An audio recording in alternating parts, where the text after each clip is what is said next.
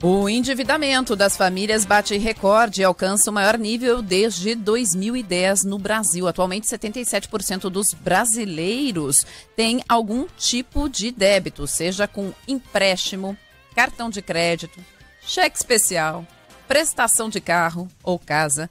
Há um ano, o total de endividados era de 67,5%, segundo a Confederação Nacional do Comércio. A inadimplência também atingiu o nível mais alto dos últimos 12 anos. 28,6% dos brasileiros têm dívidas em atraso. Bom, enquanto isso, o total de impostos pagos pelos brasileiros chega a um trilhão de reais em 2022. Os dados são do impostômetro mantido pela Associação Comercial de São Paulo. Em 2021, essa marca só foi alcançada no dia 19 de maio, que revela um aumento na carga tributária. O valor corresponde a todos os tributos pagos à União, estados e municípios. Desta vez, segundo a Associação Comercial, a maior arrecadação está diretamente ligada à inflação, é o chamado imposto inflacionário. Motivo é que quanto maior o preço dos produtos, maior o imposto embutido. Hoje a gente tem assunto à beça, né, para tratar com a Juliana Rosa, porque são números bem assustadores do cenário aqui que a gente já tem como realidade hoje, mas do que se desenha quando a gente fala de endividamento da população. E diante de taxa de juros mais altas, como é que as pessoas vão pagar essa conta? Se já está difícil hoje se já há necessidade de financiar dívidas e nem essas dívidas conseguem ser pagas pela população, o que dizer daqui a um ano, por exemplo? E sem uma perspectiva de uma inflação que é, baixe um pouco mais. Até aqui as tentativas têm sido todas de aumento na taxa de juros na tentativa de controlar a inflação e não tem surtido efeito na ponta. Para as pessoas, os preços continuam subindo. Então a gente está falando de altíssimo endividamento da população, de taxa de juros alta, de inflação alta também. Qual vai ser o caminho para solucionar isso aqui? Exato. Porque a situação da família brasileira está muito, muito delicada. E quando a gente fala diante disso tudo, de uma queda na renda do brasileiro. Se a renda do brasileiro tivesse subido também proporcionalmente, mas pelo contrário, não só não subiu, como achatou, como ela reduziu. É, é um desdobramento destes dados aqui da pesquisa é o seguinte: que esses é, 28,6% dos brasileiros em dívidas estão com 50% da renda comprometida com o pagamento de dívida. Como é que você faz se a metade da sua renda está para pagamento de dívida? É um negócio assustador. Você vive como? E a, as altas consecutivas na taxa de juros não têm funcionado, até porque a nossa inflação não é resultado de um superaquecimento da economia. O Brasil, pelo contrário, vive o pesadelo dos economistas, que é a chamada estagflação.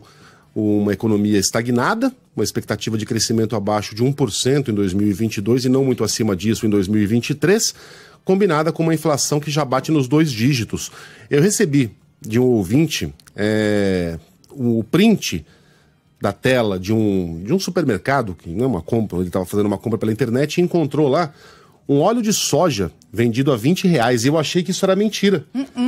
Eu achei que isso fosse, enfim, coisa de, de internet, fake news. Aí a gente foi ver, né, acionou a reportagem e é isso mesmo. É. O preço do óleo de soja já bateu nos 20 reais. Aliás, quem traz os detalhes é a Mayra de Jaimo. O óleo de cozinha, produto indispensável da cesta básica, está cada vez mais caro. Segundo o IBGE, só no primeiro trimestre do ano, o preço do óleo de soja já subiu 11,21%. Nos últimos 12 meses, a alta acumulada é de quase 24%. A elevação começou em março de 2020 com a supervalorização das commodities. E aí, recentemente, piorou com a guerra entre Rússia e Ucrânia, já que o leste europeu é responsável por 30% da produção de óleo de girassol. E além disso, na semana passada, a Indonésia, que atualmente é a maior exportadora do mundo de óleos vegetais, suspendeu as vendas para outros países porque há produtos em falta no mercado interno. Tudo isso sobrecarrega os principais substitutos, soja e milho. Em março, a alta chegou a 8,34% para a soja e 1,61% para o milho. Com tudo isso, o jeito é substituir, pesquisar, procurar marcas mais baratas e tipos de óleo alternativos. Há uma luz no fim do túnel, porque a próxima safra, segundo a Conab, vai trazer um aumento de 120% nos estoques finais do óleo de soja e isso pode aliviar um pouco os preços. E aí, Duro no... é substituir pelo quê, né? Pois é. Azeite, pior ainda. Não, não é nem recomendado, né? Não, e é caro. Ah, óleo, de, óleo de girassol, dá, porque... mesma coisa. Óleo de canola, canola, mesma coisa. Banha de porco? Banha. É. Será o caso da gente voltar? Não, Aquelas tá latas tá gigantescas caro, também tá caro. É. Como é que faz, gente? É. E aí, no caso do tomate, também estamos falando de alta de preços, o preço ainda assustando. Léo Souza tem os detalhes. O quilo do tomate tem aumento de 117% no comparativo entre abril deste ano com o mesmo período do ano passado, segundo dados do IPCA. De acordo com os especialistas, os motivos para a alta vão desde a baixa produção no campo até o aumento dos combustíveis. O comerciante José Jorge lista algumas das justificativas dadas pelos produtores. Eles alegam que é muita chuva, né? A produção diminui muito, aí o preço aumenta muito, né? Porque tem despesa de automóvel tal, para transportar tudo, e aí fica tudo caro, né? Segundo a FGV, somente em abril, o tomate ficou 22% mais caro no comparativo com o mês anterior, depois de ter subido 6,5% em março.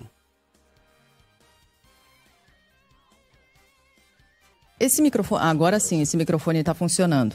É, a gente está falando de uma alta, o Léo Souza nos trouxe aí, 117% no preço do quilo do tomate, 117%. Uma paulada. Eu comentava aqui fora do ar com o Megali e com a Ellen, que ontem no Band News TV conversei com o economista da Confederação Nacional do Comércio, falando sobre expectativa, sobre expectativa do comércio para o Dia das Mães. E aí a gente está falando de presente, né? O que em muitos casos é supérfluo. É claro que filhos querem presentear suas mães. Sim, é, quando a gente fala de alimentação. não, mas é verdade. Né? Quando a gente fala de alimentação, tem isso. Mas os filhos querem presentear, claro. querem fazer o agrado para sua mãe. Só que neste ano, em particular, os presentes serão muito diferentes dos últimos anos. Por quê? Os celulares sempre foram líderes nesse período aqui de vendas de Dia das Mães, de presente, né? O celular sempre foi o grande presente de Dia das Mães, só que em todos os, na grande maioria dos casos, o celular ele não é pago à vista. As pessoas financiam, pagam em 12, parcelam ali em 12 vezes muitas vezes.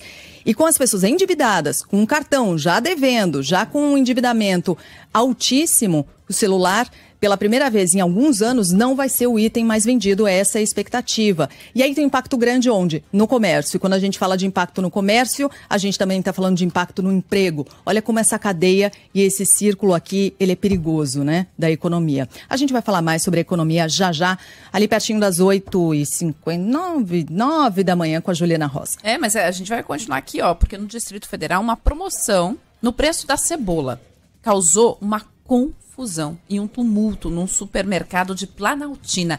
Nas imagens é, que você está acompanhando aqui na nossa.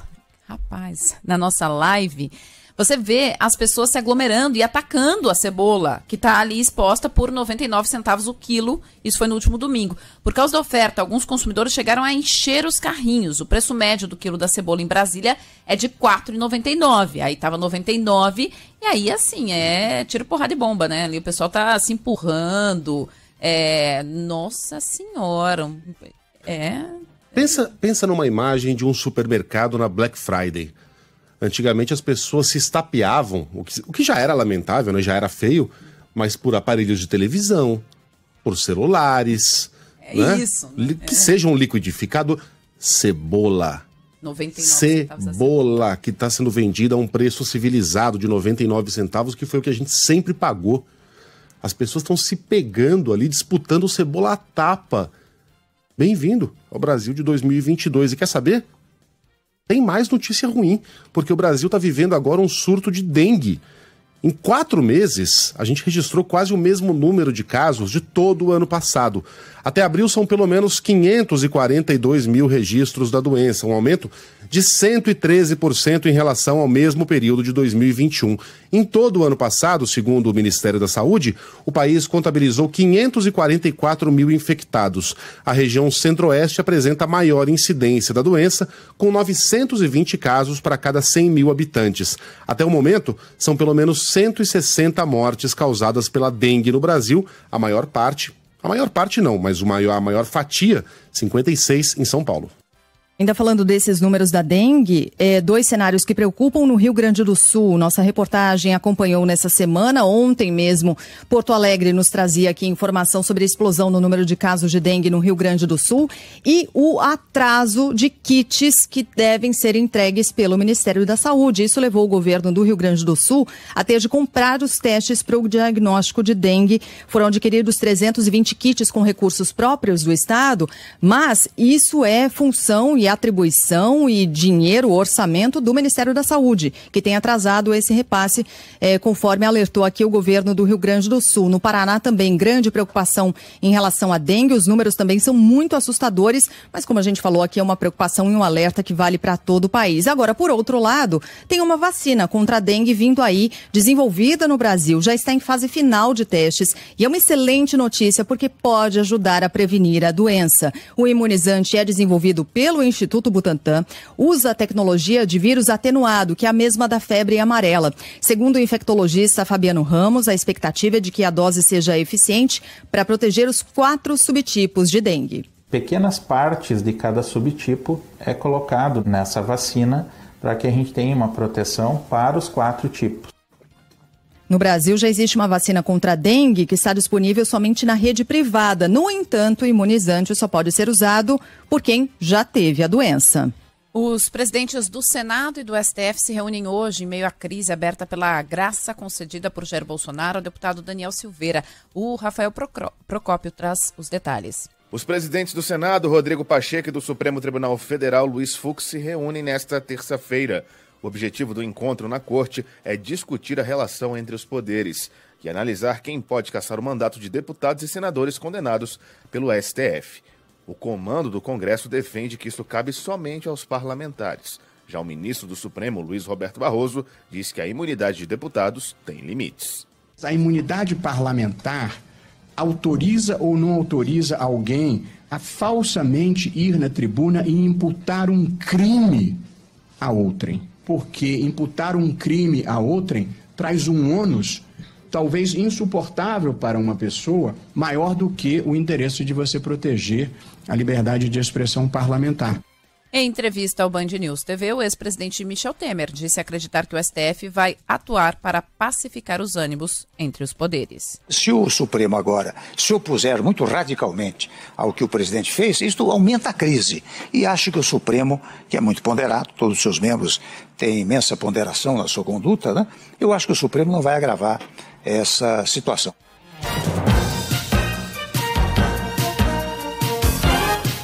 Na Band News FM, eleições 2022.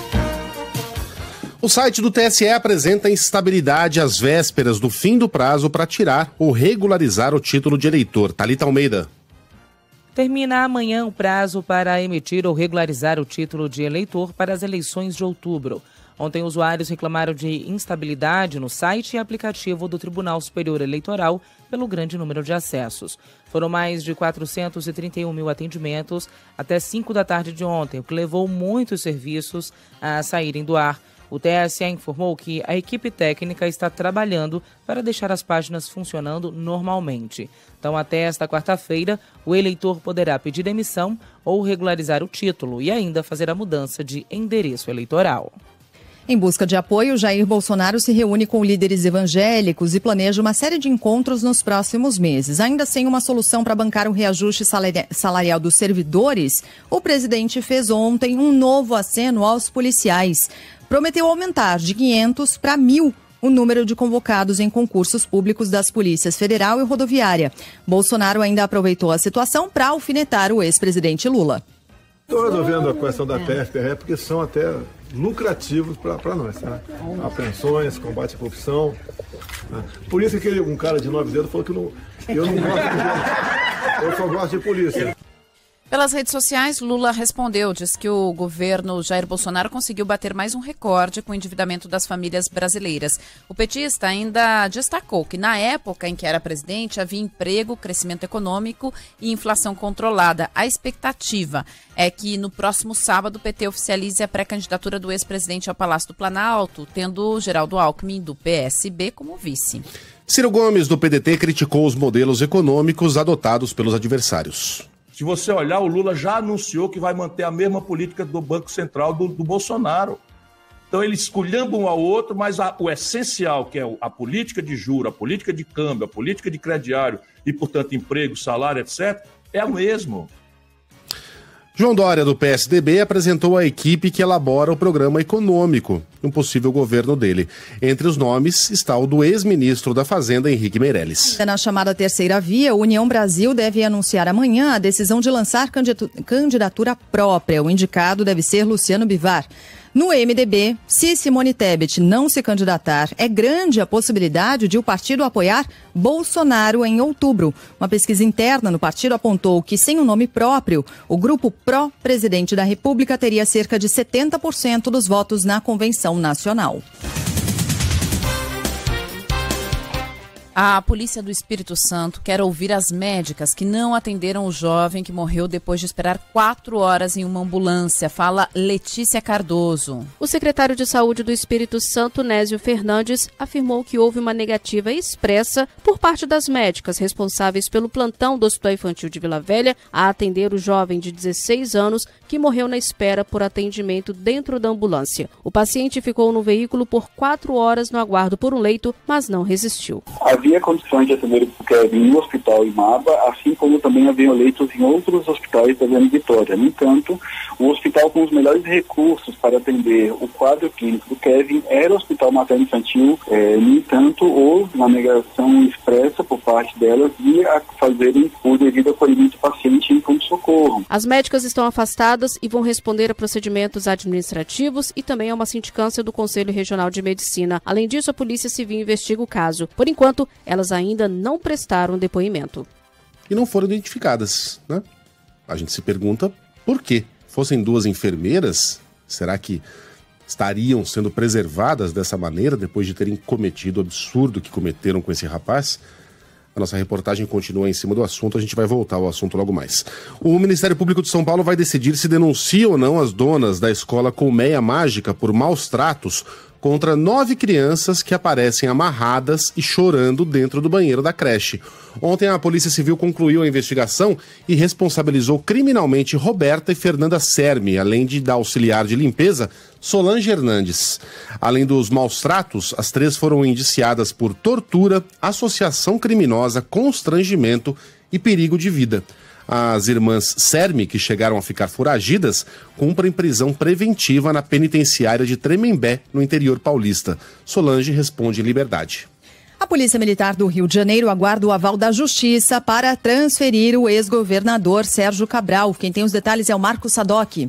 O ex-governador Sérgio Cabral e outros cinco presos devem ser transferidos ainda hoje para o presídio de segurança máxima em Bangu, na zona oeste do Rio. A medida foi tomada pelo corregedor Bruno Rulieri após uma vistoria da vara de execuções penais ter encontrado na unidade prisional da PM celulares, anabolizantes, cigarros eletrônicos e uma lista de encomendas a restaurantes. Os objetos estavam em fundos falsos e até mesmo escondidos em um vaso sanitário. A ação foi feita de surpresa. Segundo o juiz Marcelo Rubioli, um dos presos se assustou e tentou esconder um saco com material proibido. Vi que existia um espaço ao lado onde eu tive a impressão de ver um movimento. E eu vi ao fundo desse terreno uma pessoa que depois se identificou como um soldado PM, recebendo uma, uma, uma sacola e quando me viu ficou assustado, jogou a sacola por cima de uma, de uma grade ali existente. Ontem, uma nova vistoria da Corregedoria da Polícia Militar, no Batalhão Especial Prisional, encontrou 13 aparelhos de TV com acesso à internet que foram apreendidos. Em nota, a Polícia Militar informou que todas as decisões da Justiça estão sendo rigorosamente cumpridas. Procurada a defesa de Sérgio Cabral afirmou que na revista realizada na semana passada não foi encontrada nenhuma irregularidade na cela do ex-governador.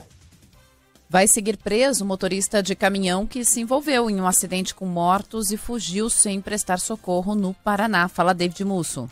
Foi preso em flagrante na tarde de ontem o caminhoneiro suspeito de causar o acidente com um micro-ônibus da prefeitura de Pato Bragado, no interior do Paraná. Ele foi localizado na cidade de Mercedes, que fica a cerca de 20 quilômetros de Marechal Cândido Rondon, cidade onde aconteceu o acidente. O caminhão conduzido pelo homem tinha sinais da colisão. Ele admitiu que fugiu do local aos policiais. Agora, o caminhoneiro deve responder por homicídio culposo, lesão corporal e fuga do local do acidente. O caso aconteceu na manhã de ontem na PRC 467 e deixou sete mortos e 13 feridos.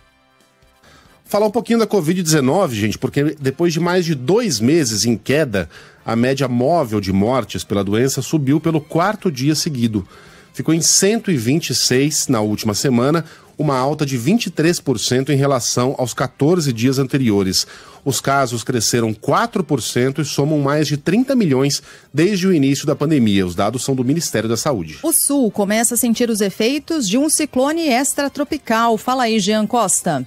Um ciclone extratropical deve trazer mais chuvas ao Rio Grande do Sul nesta semana. Pelo menos até a quinta-feira, as tempestades devem ser constantes no estado e as autoridades estão fazendo o monitoramento dos rios em diversas regiões.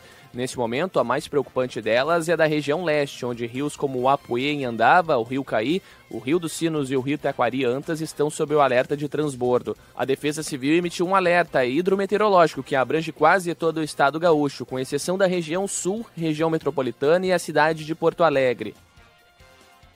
Na fronteira oeste do Rio Grande do Sul, pelo menos duas mil pessoas estão desalojadas ou desabrigadas depois das fortes chuvas que atingiram a região. Por causa do temporal, as cidades de Alegrete, Quaraí, Lavras do Sul e São Gabriel decretaram situação de emergência. Alegrete. Alegrete. Alegrete. Alegrete. Alegrete. Extra tropical, extra tropical. Jaime. Jaime. Jaime não dá, hein, Helen? Jaime. Mas, mas também é esquisito, né? É, então, mas- desculpa. Não, mas nome é nome. Alegrete. Não, é, é, não, Nome é, é é, Alegrete. tipo Roraima, né? Roraima, é Roraima, não é, É. Roraima, é Roraima. Né? Então, Desculpa. é... não, mas tudo bem. Protestos são realizados em frente à Suprema Corte dos Estados Unidos após o vazamento do rascunho de um relatório que indica o fim do direito ao aborto no país. Fala Arthur Queiroz. O prédio da Suprema Corte norte-americana é cercado com grades e a segurança no entorno do prédio em Washington é reforçada minutos após o vazamento do rascunho do relatório. O documento do ministro Samuel Alito, indicado por George W. Bush, sugere que há maioria para derrubar a decisão. Manifestantes contrários e a favor da medida realizam protestos em frente ao órgão desde a madrugada.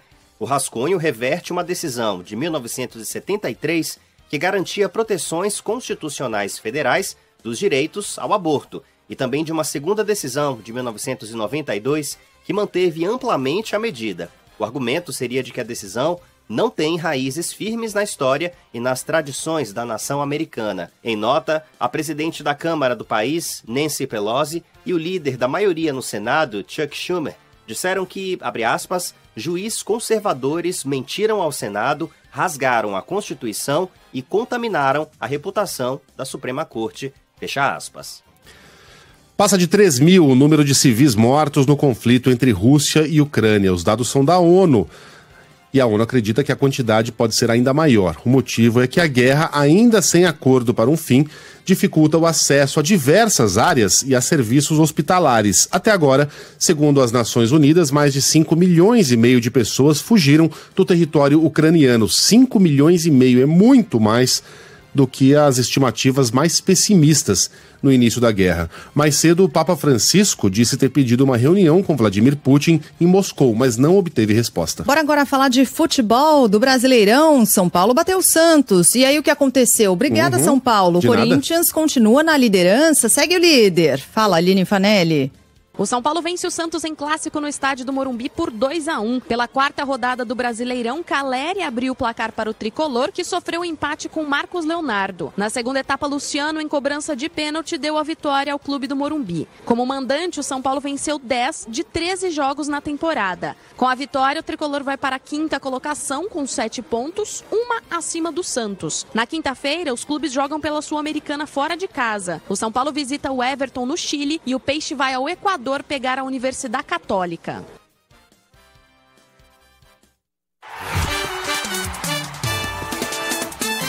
Futebol com Milton Neves. Oferecimento Sicredi. Conheça a primeira instituição financeira cooperativa do Brasil. Sicredi. Gente que coopera cresce. Casa do Construtor. Aluguel de equipamentos. Ligue 0800 200 0217. E Safra. Empréstimo com garantia do saque aniversário FGTS é na Safra Financeira.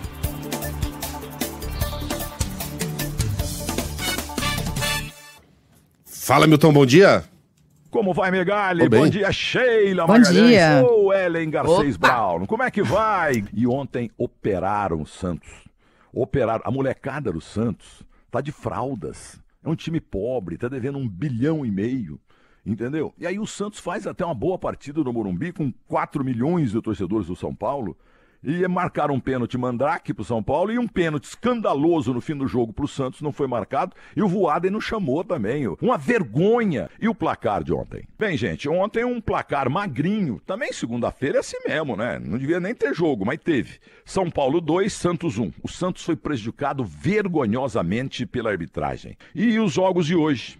Hoje temos jogos importantes pela Libertadores da América, The Strongest contra o Atlético Paranaense entendeu? E o América Mineiro recebe o Atlético Mineiro, clássico lá de BH. E o América joga no Estádio Independência, que é o seu estádio, mas o Galo vai ganhar do América hoje por 2 a 0. E o Independente Petroleiro vai pegar o Palmeiras, vai pegar o Palmeiras. Palmeiras vai ganhar. Palmeiras só ganha, ganha até no torneio de fanfarras, é, sabe, e de bocha, de tudo lá na Água Branca. Independente Petroleiro 0, Palmeiras 2. E na Sul-Americana, o querido Cuiabá vai receber receber o Racing. O Racing que é muito tradicional. Jogo duro, hein? Para mim, o Racing ganha o jogo de 1 a 0 E o Ceará em casa pega o Laguária. o louco. E o Ceará, Ceará vai ganhar de 2 a 0 Grande abraço e até amanhã.